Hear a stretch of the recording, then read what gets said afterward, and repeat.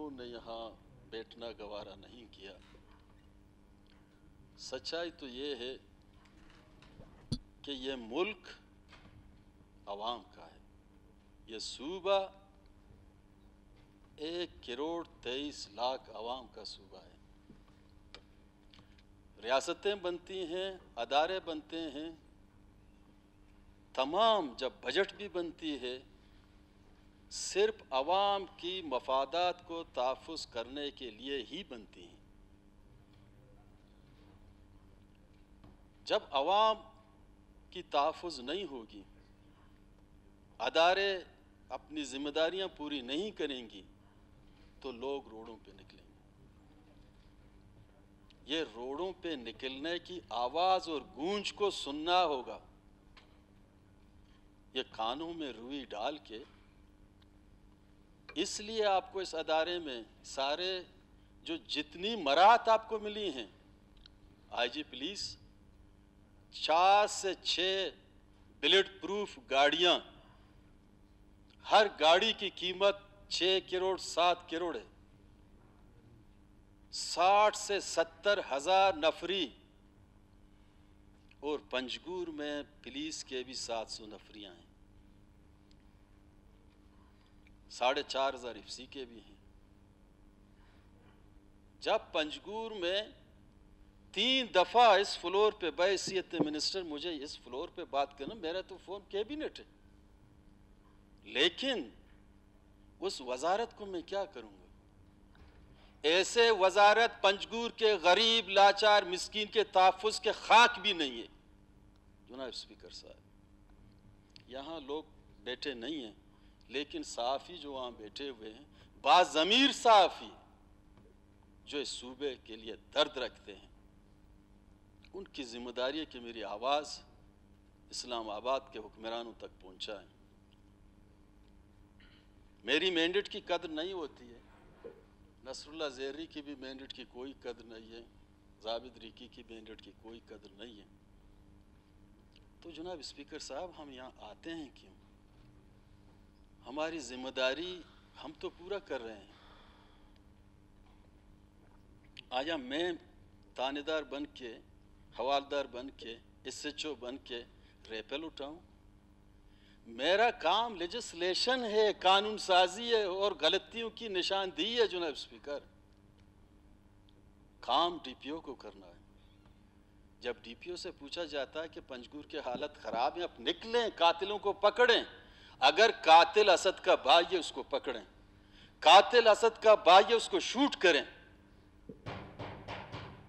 क्यों नहीं करते हैं आप? ये किसके एजेंडे पे आप काम कर रहे हैं? इसलिए कि बीएनपी अवामी ने बाईस हज़ार वोट अवाम कर लिए। पैराशूट से नहीं आए। मेरे खिलाफ साजिश करना चाहते हैं। अगर मैं महसूस करूँ, जनाब स्पीकर साहब, आज मैं बात कर रहा हूँ। मेरी अवाम के साथ ये ज़्यादतियाँ हुई। तो शायद मैं पार्लिमानी सियासत भी छोड़ दूँ। जिस दिन मैंने पार्लिमानी सियासत छोड़ दी है तो उन कुतों के लिए, उन लोगों के लिए हालात अच्छे फिर नहीं होंगे। मैं पार्लिमानी अगर सियासत नहीं करूँगा, सियासत तो ज़रूर करूँगा। इस मुल्क को हम मानते हैं, इसकी अदारे को हम मानते हैं, इलेक्शन लॉज को हम मानते हैं। हमने इलेक्शन लड़ी है, लोगों ने एक एक वोट हमें दिए। बाईस से पच्चीस हज़ार वोट हमने लिए। ये तीसरी, चौथी दफ़ा है पंजगुर के बारे में मैं बात कर रहा हूँ। आईजी को यहाँ भी बुलाया, उनसे भी बात की। वज़ीर अला साहब के नोटिस पे मैंने भी लिया है कमिश्नर ने भी लेटर लिखी है। ये आईजी इतने ताकतवर हैं और स्पीकर साहब, आप इतने कमज़ोर हैं कि यहाँ ये सुनने के लिए तैयार नहीं है। होना तो ये चाहिए था आईजी और चीफ सेक्रेटरी इस वक्त पंजगुर में होते। लोगों को सुनते किस दर्द की दवा है इसलिए कि हम रोज़ाना लाशें उठाएँ कल सिविल सोसाइटी के सैकड़ों खवातीन। पंजगूर का रवायत है, कभी खवातीन घर से नहीं निकलते। सैकड़ों खातन घर से निकले, यही आवाज़ था, गूंज रही थी पूरे पंजगूर के कातिलों को पकड़ो। क्यों नहीं पकड़ रहे कातिलों को? बैठे हैं क्यों ये? बड़े बड़े गाड़ियों पे बड़े बड़े बंगलों पे ये बैठे हैं क्यों? तो हमारा टैक्स से ये सारे बंगले उनके पास हैं। गाड़ियाँ भी वही टैक्स के हैं। हम एक माचिस खरीदते हैं, टैक्स देते हैं, एक किलो चीनी खरीदते हैं, टैक्स देते हैं। आवाम बेचारा जो मिडिल क्लास के लोग हैं, उन्होंने हमेशा आइन की, कानून की फर्मा बरदारी की है और टैक्स दिए इस टैक्स से बने हुए उस दौलत को इस मजलूम आवाम के लिए खर्च करना चाहिए, उसकी माल और जान की तहफ़ देना चाहिए। आइन में साफ़ लिखा हुआ है कि रियासत की ज़िम्मेदारी है कि लोगों की माल और जान की तहफ़ करे। अगर पंजगूर के अवाम के साथ साथ मांगी डेह में भी यही हालात होते हैं, ग्वादर में यही हालात, तुरबत में भी यही हालात, नूशकी में भी यही हालात तो इससे हम क्या अखज़ करें? अनारकी पैदा करना चाहते हैं। लोग रोडों से निकलें, रेपल उठाएँ, एक दूसरे को मारें।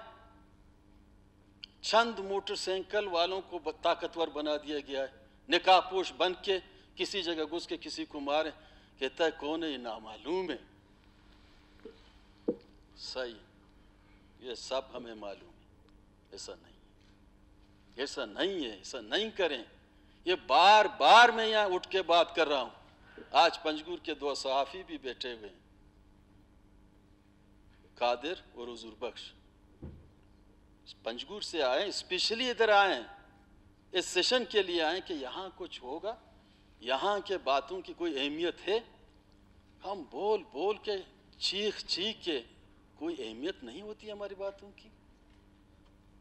इलेक्शन के दिनों हम लोगों से वादा करते हैं, जब हम इस असम्बली के मेंबर होंगे हम आपकी माल, जान की तहफ़ करेंगे, अदारे हैं, अदारे आपके लिए काम करेंगे, आपको तहफ़ देंगे। हमारी गुनाह क्या है? मैं पूछता हूँ उनसे इस आईजी से पूछता हूँ। अगर यही हालत पंजगुर के बजाय इस आईजी के डिस्ट्रिक्ट में होते, वो खामोश होता? आईजी के बेटे के साथ होते, वो खामोश होता? चीफ सेक्रेटरी के बेटे के साथ होते, वो खामोश होता? न करें ऐसे। हमने अपनी ज़िंदगी की वक्त बहुत गुजारी है। हमें कोई लालच नहीं है, इस ज़िंदगी से मज़ीद लालच नहीं है। लेकिन अपनी आवाम की, बलूचिस्तान के मजलूम लोगों की, आवाम की माल जान की हिफाजत की खातिर आखिरी सांस तक हम यहाँ बोलते रहेंगे। असम्बली के मेंबरों में यूनिटी पैदा करना चाहिए। ऐसा माहौल ये ना हो कि यहाँ अफ़गानिस्तान का माहौल अब पैदा ना करें। ताकतवर लोग, उस वक़्त ताकत किसी मानी जाती, वो ताकत को आप आवाम की माल, जान की हिफाजत के लिए इस्तेमाल करें। ये कौन सा ताकत है कि आवाम के ख़िलाफ़ इस्तेमाल की जाती है? ऐसे ताकत को, ऐसे शब बेनूर को हम नहीं मानते हैं। हम उस रोशनी को मानते हैं कि हमारी घर का शम्मा बन के चिराग बने। जो लोग चिराग को बुझाते हैं, उनके ऊपर हम लानत बेचते हैं। हम चिराग और मशल लेने वालों को सलाम करते हैं। और बलूचिस्तान के तमाम पॉलिटिकल पार्टियों के खिलाफ एक साजिश हो रही है। जिन लोगों को आवाम में कोई से है मासिस में कोई काम कर रहे हैं, उनको आप रस्ते से हटाएँ। और जो ठप्पा वाले हैं, सारे इनको बिठा दें, जो हाथ उठाते हैं येस और नो येस और नो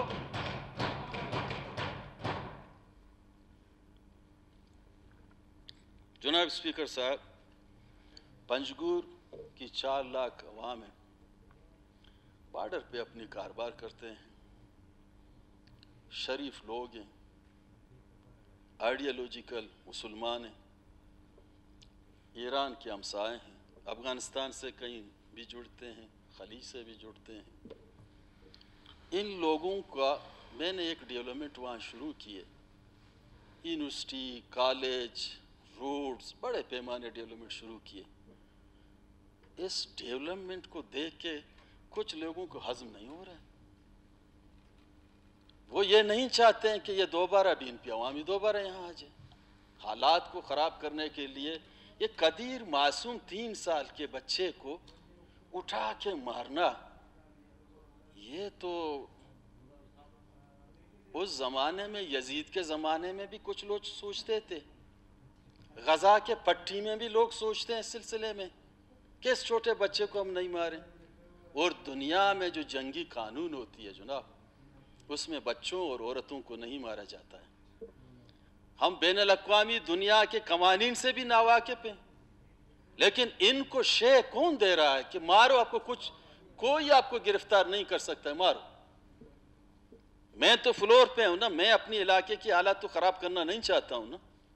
मैं अपनी बदनामी तो करना नहीं चाहता हूँ। अगर बीएनपी अवामी का कोई बंदा इसमें शामिल है, आज मैं फ्लोर पे कह रहा हूँ कि पकड़े उसको। लेकिन इसके लिए हम बोल बोल के उस रोज भी हमने कहा कि जीआरटी तश्कील दिया जाए। एक कमीशन बनाई जाए और आईजी को उसमें बिठाया जाए कि कौन कर रहा है सारी चीज़ें। लेकिन इस आईजी को कोई छुड़ती नहीं है। उस रोज हमने यहाँ बुलाया, स्पीकर भी थे, वज़ीर भी था उनका, जिया साहब। हम थे, हमने कहा कि जनाब आई जी साहब, तार साहब, ये पंजगुर में क्यों ऐसे कर रहे हैं आप? कहते नहीं, पंजगुर की हालत सही है। पंजगुर में लोग मर रहे हैं, आई जी कहते पंजगुर की हालत सही है। तो मैं क्या समझूं कि आई जी पागल है? तो ऐसे पागलों की बलूचिस्तान में ज़रूरत नहीं है फिर। ये पागल जहाँ से आए, पागल को वही भी रखें। बलूचिस्तान में शरीफ, बावकार, बाइज्जत लोगों की ज़रूरत है। चीज़ उसके समझ में नहीं आती है। जब से ये आया है आई जी, बलूचिस्तान के हालात खराब हुए। बलूचिस्तान दिन ब दिन बिगड़ रहा है और इसकी तारीफें हो रही। एक दिन अफसोस के साथ किसी साथी ने यहाँ भी ट्रेजरी बेंच में कि ये आईजी बड़ा दबंग। है भाई आईजी बड़ा दबंग है तो हमारे लोगों को तो तबाह कर दिया दबंग ने। इस दबंग की हमें ज़रूरत नहीं है। जुनाब स्पीकर साहब, हम नीचे यहाँ बैठे हुए हमारी कुर्सी आपसे थोड़ा नीचे है और ये काला कोट आपने पहना है यही काला कोट जब सुप्रीम कोर्ट के जज इसी तरीके से वो कोट पहनते हैं। लोग इंसाफ मांगते हैं। मैं पाकिस्तान के चीफ जस्टिस से इंसाफ मांगना चाहता हूँ कि पंजगुर की हालत ख़राब है। वो सोमोट एक्शन ले मैं चीफ जस्टिस बलूचिस्तान से इंसाफ माँगता हूँ। अगर नहीं हुआ तो बलूचिस्तान के अवाम की अदालत से हमें कोई नहीं रोकेगा। जब हम वहाँ बोलेंगे तो बहुत कुछ बोलेंगे। यही है ना, लोग कभी कभी धमकी देते हैं, जनाब असम्बली के फ्लोर पे आप बोल रहे हो, आप तो ट्रेजरी के। मैंने, कब कसम उठाई है हल्प उठाया यहाँ से कि पंजगूर में तबाही हो और मैं एक वजारत के लिए यहाँ बैठा रहूँ? मैंने कभी ये नहीं किया। मेरे लिए मेरे गरीब, लाचार, मिस्कीन, अवाम अवलियत रखती है। उनकी इज़्ज़त, उनकी नफ्स, उनकी वकार, उनकी पासबानी अवलियत रखती है। वजारत नहीं। आप देखें इंटरेस्ट वो सही बोल रहे हैं, जेरी सही बोल रहे हैं। इंटरेस्ट क्यों नहीं है? क्यों नहीं बैठे हुए ये इसको मैं क्या समझूं? मैं तो इसलिए बैठा रहा हूँ कि पंचगुर का एजेंडा है। तो बाकी तो सारे यहाँ से निकल गए, ऐसे निकल गए कि उनको एक एक फ़ोन आया कि जनाब, अगर आज आप बैठ गए, शायद आप लोगों का एमपी शिपी जाएगा यहाँ से। तो मैं समझता हूँ जनाब स्पीकर साहब, हम बजट बनाते हैं। आप बजट बुक को देखें। सिक्योरिटी के हवाले से यही पुलिस डिपार्टमेंट है। चालीस से पचास अरब रुपए का। ये बजट है, ये बजट कहाँ से आता है? यहाँ तेल नहीं निकल रही है। लोगों के टैक्स हैं, गरीबों के टैक्स हैं। वो गरीब मिसकीन जो मजदूरी करके टैक्स देते हैं उनकी माल जान का हिफाजत, रियासत की ज़िम्मेदारी है। ये मैं नहीं कह रहा हूँ, ये आइन जो लिखा हुआ है, ये आइन में लिखा हुआ है। कि रियासत की ज़िम्मेदारी है कि लोगों की माल, जान की हिफाजत करे। आज पंजगूर में जो हालत पैदा किए जा रहे हैं, ये कब तक चलेगा? बीस से पच्चीस हज़ार लोगों का रैली बीनपी अवामी ने भी निकाला। इससे पहले भी वहाँ मुख्तलिफ़ पार्टियों ने आवाज़ बुलंद की। कल सिविल सोसाइटी ने बहुत बड़े पैमाने पे सैकड़ों लेडीज़ निकले। यही एक ही आवाज़ था कि कातिलों को गिरफ़्तार करें। हम नहीं कहते हैं जुर्म होती है, जन्नती निज़ाम नहीं है। सऊदी में भी कत्ल होते हैं, वहाँ भी जुर्म होती है, लेकिन रिकवरी भी होती है। लोग पकड़े जाते हैं, कातिल पकड़ा जाता है। लोगों के सामने उनको लेके पेश करते हैं कि इसने कत्ल किए ये पकड़ा गया और इसको सज़ा हुई है। जेल इसलिए बनाए हुए हैं, पुलिस को ये बंदूक इसलिए दी गई है कि इस बंदूक से आप लोगों की माल जान की हिफाजत करें। इसके कंधे की बंदूक जो हमारी हिफाजत नहीं कर सकती है, ये कंधे पे ये बंदूक रखा है क्यों उन्होंने? किसको डराने की खातिर? बहुत से लोगों में ऐसे देखें, जब इंटरेस्ट होती है कहाँ से कहाँ ढूंढ ढूंढ के लोगों को पकड़ते हैं? क्या हालात खराब हो रहे हैं? पिलाना, बड़े हस्ती की बेटी अगवा हुई है। और ये नसला जेरी के बेचारे का बेटा हुआ कहता आप ड्रामा कर रहे हैं? क्यों ऐसे कर रहे हैं? हाँ ये बड़ा सरमायादार होता तो इसके हालात ऐसी होते तो ये तो नहीं कहते। पॉलिटिकल वर्कर है, ठीक है, आप ड्रामा कर रहे हैं। हर चीज़ को नेगेटिव नज़र से देखना, आवाम की आवाज़ को गलत अंदाज पे देखना, गलत अंदाज पे उसकी तशरी करना। चुना स्पीकर साहब, हम चालीस साल से सियासत कर रहे हैं और अपनी ज़मीर की हमने सियासत की है। और आने वाले दो चार दिन हैं, वो भी हम अपनी ज़मीर की करेंगे। आवाम, हम किस आवाम की बात कर रहे हैं? मैं तो कोई बाहर इटली के अवाम की तो बात तो नहीं कर रहा हूँ। जो ये सुनते नहीं है। उस आवाम की मैं बात कर रहा हूँ, जिसके जेब में शुनाख्ती कार्ड है, पाकिस्तान का, पासपोर्ट है उसकी। और यहाँ के शरीफ शहरी हैं। एक जानब से यहाँ दिक्कत दे दें उनको मारें। दूसरी जानब से बार्डर को बंद करें। नान शबीना के लिए उनको मोहताज करें। तो ये जो लावा होगा, ये खामोशी का जो लावा होगा, जब ये पक जाएगा, ये जब ब्लास्ट होगी तो इसकी असरात बहुत ख़राब निकलेंगी। लोग पार्लिमानी सियासत से मायूस क्यों होते हैं जनाब? खैर बख्श इस सीट पे बैठा, पार्लिमानी सियासत की नवाब खैर बख्श ने। जब बात नहीं सुनी गई, उन्हें कहा कि यहाँ कोई इज़्ज़त नहीं है, मैं पार्लिमानी सियासत ही छोड़ दूँ। नुकसान किसको हुआ जुना स्पीकर साहब?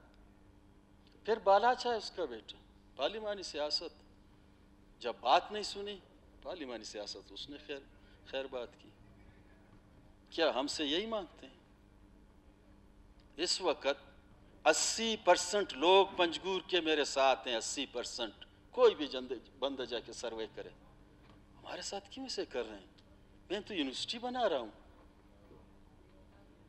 वहाँ तो कोई माफिया का अड्डा तो मैंने नहीं बनाया एग्रीकल्चर कॉलेज मैंने बनाया पॉलिटेक्निक कॉलेज मैंने बनाया बीआरसी बनाने जा रहा हूँ केरट कॉलेज हमने बनाया, सोलह कॉलेजेस मैंने बनाए, चार हज़ार लोगों को नौकरी दी, ये तो अमन का रास्ता हमने अपना के आगे बढ़ रहे हैं तो हमारे साथ क्यों से हो रहा है फिर?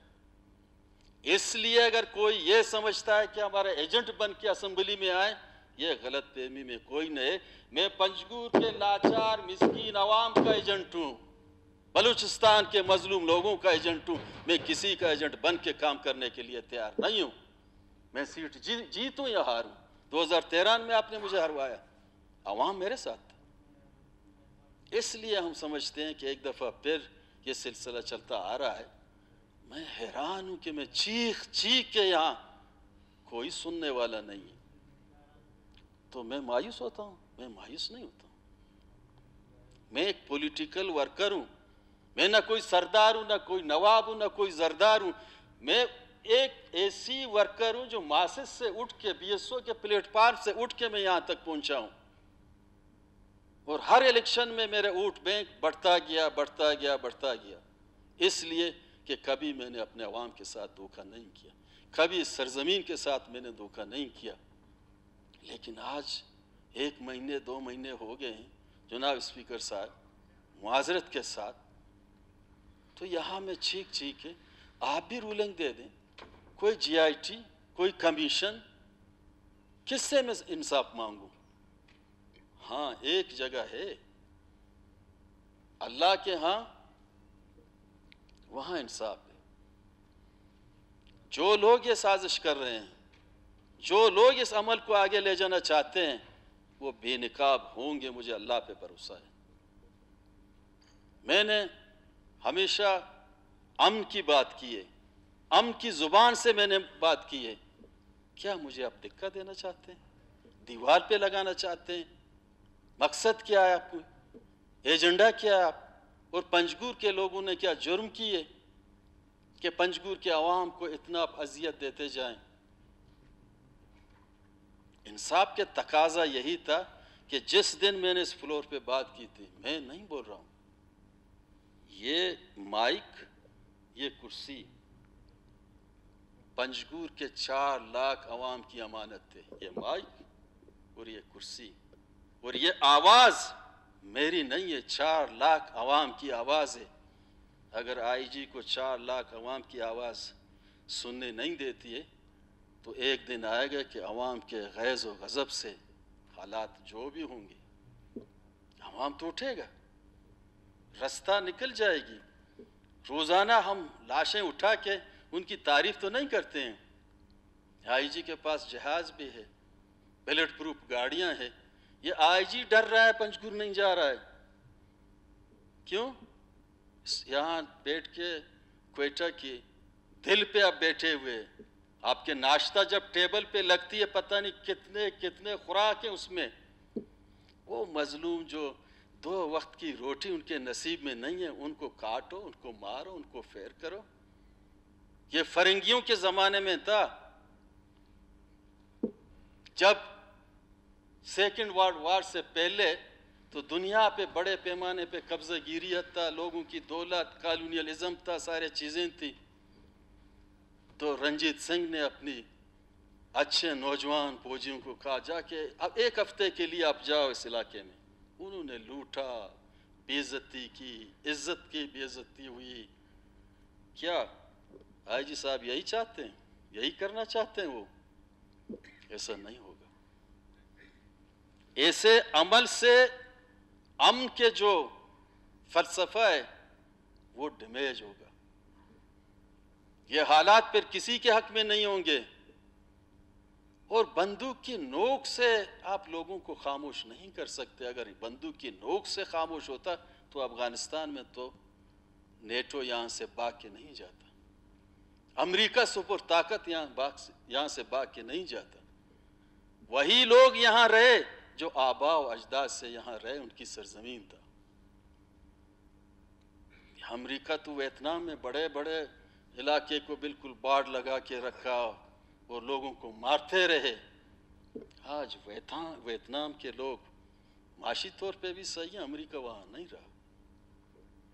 हम ये समझते हैं, बलूचिस्तान के अवाम पुरम नवा में बाइज़्ज़त लोग हैं, इस मुल्क के हिस्से हैं, इनको आप दोहरे नज़र से नहीं देखें।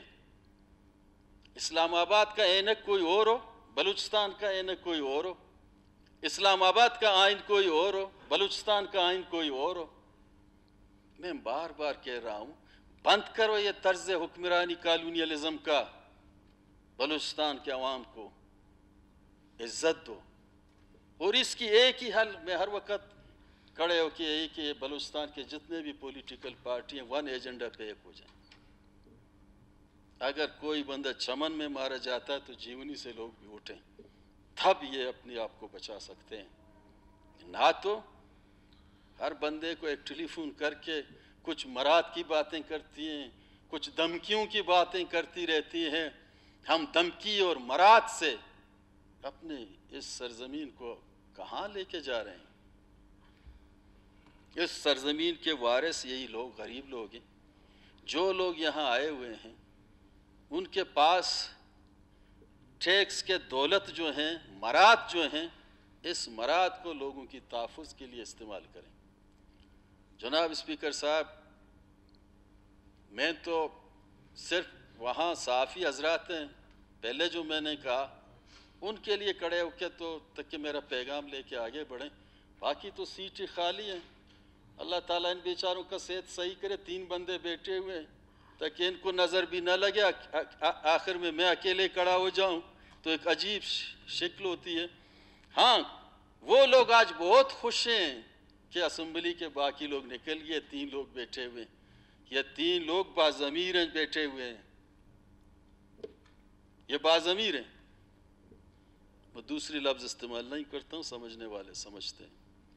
बाज़मीर लोग बैठे हुए जनाब स्पीकर साहब, मैं इस असम्बली के फ्लोर पे पहले दफ़ा नहीं आया, लेकिन पंजूर में कभी ऐसा नहीं हुआ। तीन चार दफ़ा मैं इस असम्बली आया हूँ, यहाँ मेरे तकरीरें भी मौजूद हैं, मेरे आवाम को पैगाम भी मौजूद हैं, मैं नाजम भी रह चुका हूँ। लेकिन इस दफ़ा जो एक बेहतर तरीके से हम काम लेके आगे बढ़ रहे हैं, वो निहत्ते लोगों को मार मार के कोई एक कातिल तो पकड़ा जाए? अगर एक कातिल पकड़ा जाता, तब लोग को थोड़ी बेहतर से बेहतर कम से कम उम्मीदें होती। ना एक नाउमीदी का फ़िज़ा काम करने के लिए प्लानिंग की जा रही है मनसूबाबंदी की जा रही है कि पंजगूर को किस तरीके से बदम किया जाए।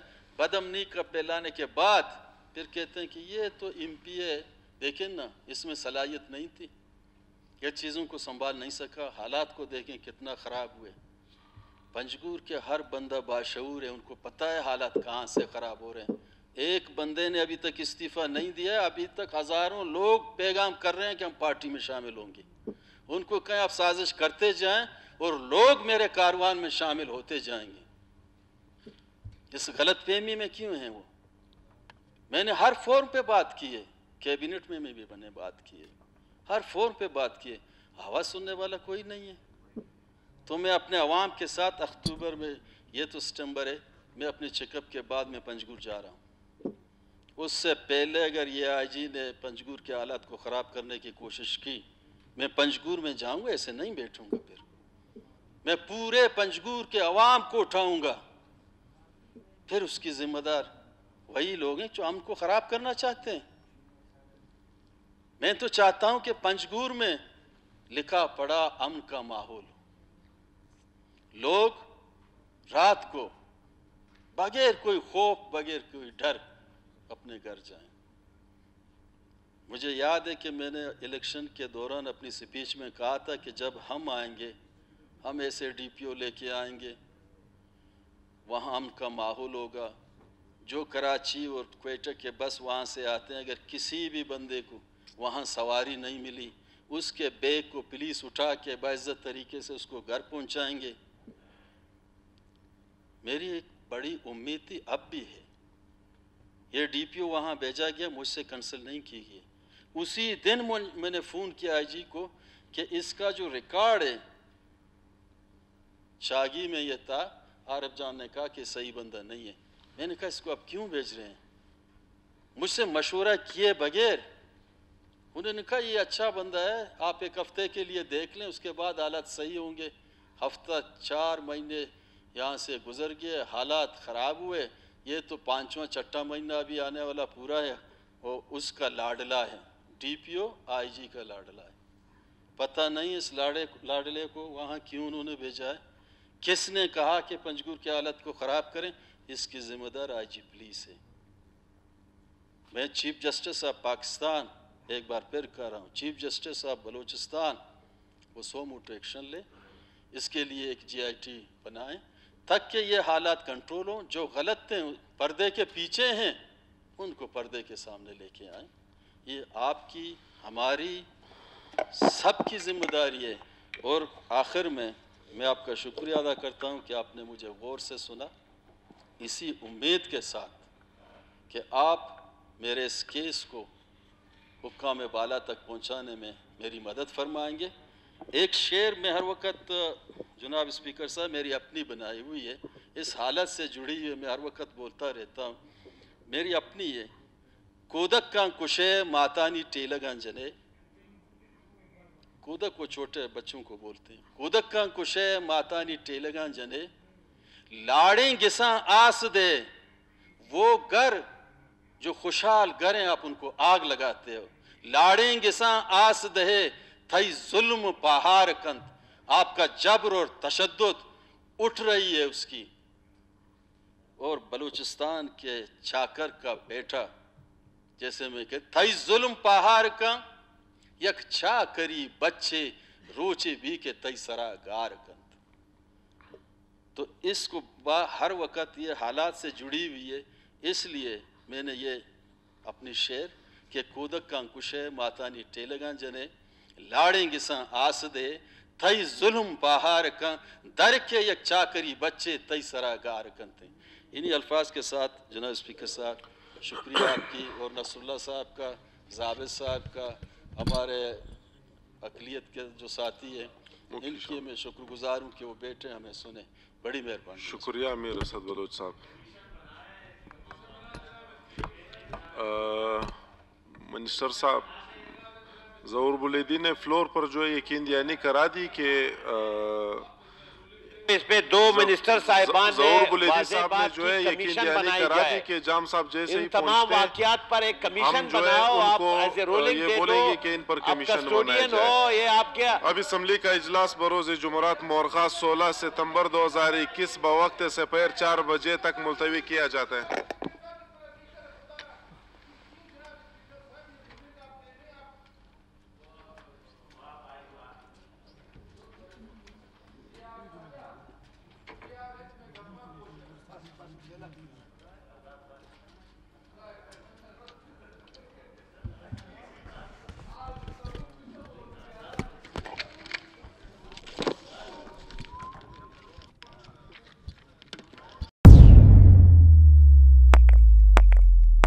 रोज़नामा कुदरत की वीडियो देखने के लिए अभी यूट्यूब चैनल पर सब्सक्राइब करें और बेल आइकन पर भी क्लिक करें।